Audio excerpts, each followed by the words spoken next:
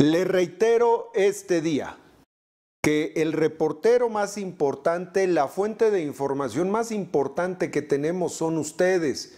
En medio de toda la desinformación que comienza a circular en redes sociales, lo más claro y lo más cierto es lo que usted está viendo en su comunidad, en su lugar de origen. Y estamos nosotros ahora escuchando y le agradezco que participe con nosotros desde Tacámbaro a don José Pulido. ¿Qué ha visto usted, don José, en Tacámbaro? Adelante. Hola, ¿qué tal? Muy buenas tardes. Este, mi nombre es José Pulido, me reporto de aquí del área de Tacámbaro. Este, quería hacer un pequeño comentario, Oker, y ojalá eh, alguien del gobierno federal este, tomara las cosas un poquito más en serio. Aquí en Tacámbaro, desafortunadamente, notamos que la gente como que no está tomando este, con la seriedad que se necesita con respecto al, al coronavirus. Este, la gente sigue haciendo su vida normal, no se están tomando las precauciones de sanidad. Ah, inclusive ahorita traemos la controversia aquí este, por la Nueva Jerusalén, en el área de Purbarán, este, que supuestamente este, se va a llevar a cabo lo del Via Cruces. Quiere entonces, este, a pesar de las advertencias eh, de las autoridades, este, siguen de necios que quieren llevar a cabo. El problema en sí que estamos ahorita este, con pendiente, todos los este, pues, lugareños de aquí de Tacámbaro, es que supuestamente vienen este, peregrinaciones de otros estados aquí a esta área. Entonces, este, nuestro mayor este, concerniente es si alguien de ellos, de los que vienen de fuera, eh, viniera infectado, este, Tacámbaro no está preparado para una pandemia. Entonces, hasta ahorita las cosas están tranquilas, este, volvemos al tema.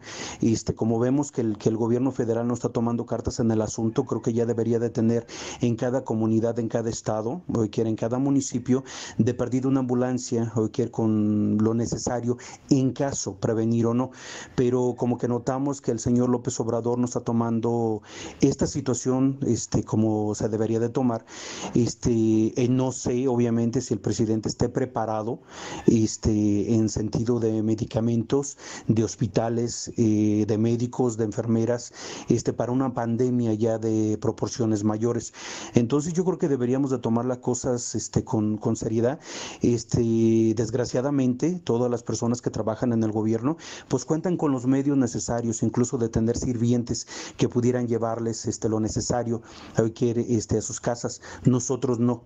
yo tengo una mamá de 70 años que depende de mí, que estoy trabajando, que desafortunadamente corro el riesgo de traerle el virus a, domicilio. Entonces hay que tomar un poquito las cosas con seriedad, y dejémonos de que nos esté valiendo madre la situación. aquí en Tacámbaro notamos que las personas nos están este, cuidando, nos están tomando las cosas con seriedad.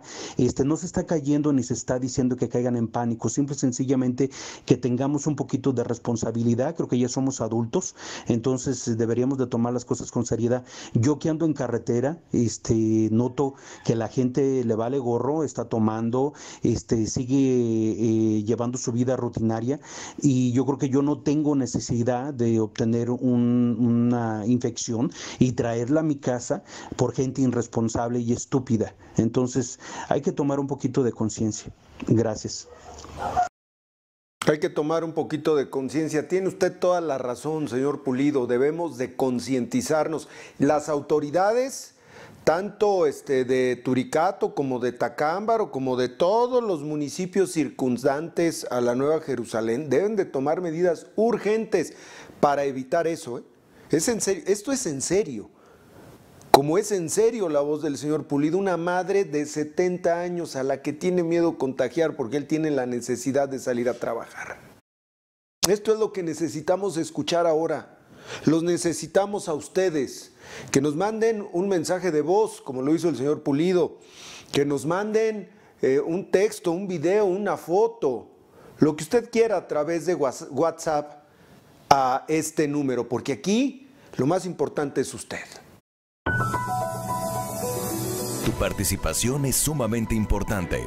Si consideras que hay algo de lo que se tenga que enterar la autoridad o que quieras hacer público en este espacio, mándanos un mensaje de voz o de texto a nuestro número de WhatsApp 4431 11 7653 4431 11 7653 porque nuestro reportero más importante eres tú. Aquí te escuchamos.